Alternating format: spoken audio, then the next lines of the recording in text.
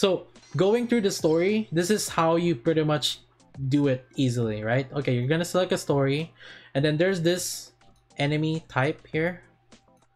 So you're gonna you're gonna see what the enemy types are, and you're gonna see they're light armors. Red is light armor, right? So all enemies have light armors and then they have neutral attacks. Neutral attacks means they deal normal damage regardless what type of armor type you are.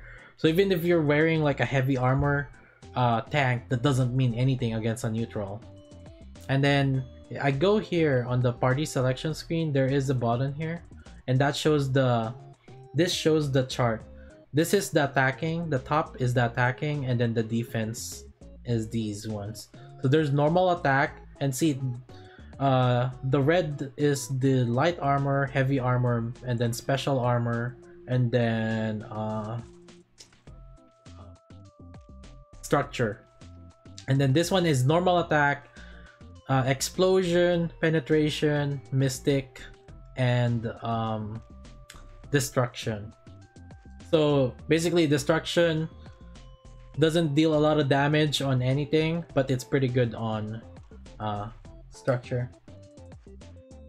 The top is offense, so attacking, right? It's it doesn't matter whether it's enemy or not. It's like who's attacking. So this one, the top one, right, is reflected to this one, the attack, the attack icon. What color the attack icon is, right? And then the defense icon is this row each row is defense.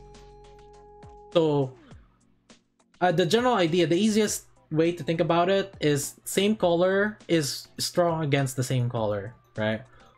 If you're using red uh, attacker, then it's strong against these red attack, uh, red light light armors.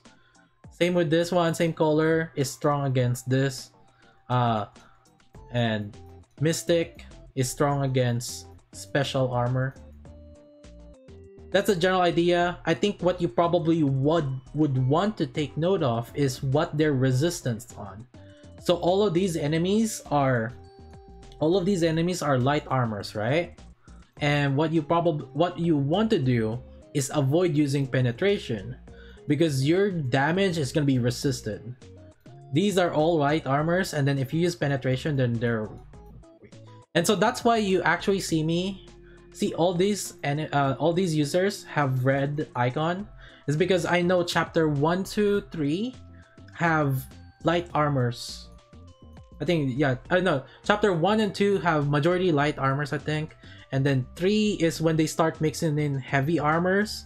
So when they start mixing in heavy armors you you might want to start swapping in some some penetration units. But at the beginning, chapter 1 and 2, easy, just go with this uh, um, explosion units. And you can finish a lot of the thing